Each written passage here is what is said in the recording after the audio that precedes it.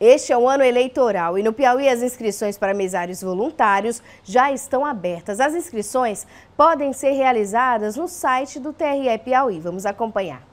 Fabiana é mesária há 10 anos. Ela se candidatou para ser voluntária e todo ano é convocada. Ser mesária é importante porque é um meio que a sociedade tem para contribuir com o processo eleitoral.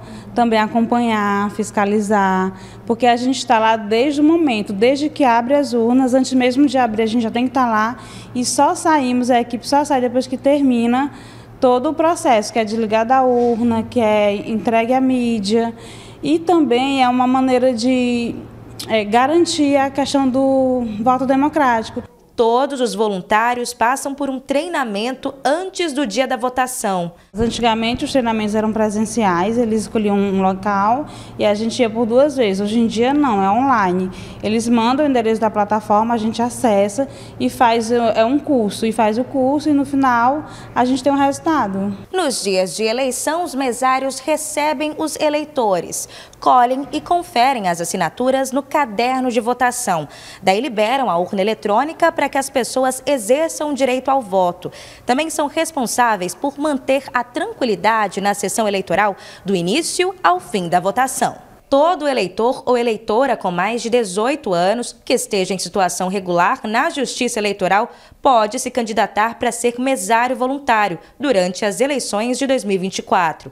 As inscrições já podem ser realizadas pelo site do TRE. Basta que você seja eleitor, tenha mais de 18 anos, basta você acessar o site do TRE Piauí, www.tre-pi.jus.br. Você se cadastra como mesário voluntário, mas você vai receber uma notificação pessoal do seu cartório confirmando que o seu é, o seu pedido de, de inscrição foi aceito e que você foi nomeado como mesário. Além disso, você vai passar por um treinamento que é, pode ser na modalidade presencial ou na, na modalidade é, virtual, por meio do aplicativo do mesário. Ele fica disponível a partir do mês de agosto e vai geralmente até a véspera da eleição. Então você pode fazer esse treinamento EAD durante todo esse período. Além disso, se o seu cartório eleitoral é, resolver fazer um treinamento presencial, você vai ser notificado com a data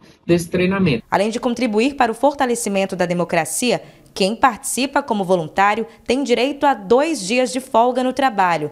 Essa folga, sem perda de salário, também é garantida toda vez que o mesário presta um dia de trabalho à Justiça Eleitoral. Se você fizer o treinamento trabalhar no primeiro turno e por acaso tiver um segundo turno, são três dias de convocação. Logo, você terá seis dias de folga no seu trabalho. Além disso, no Piauí, nós temos uma lei estadual que garante isenção em taxa de concurso público do Estado para quem entra atuar como mesário.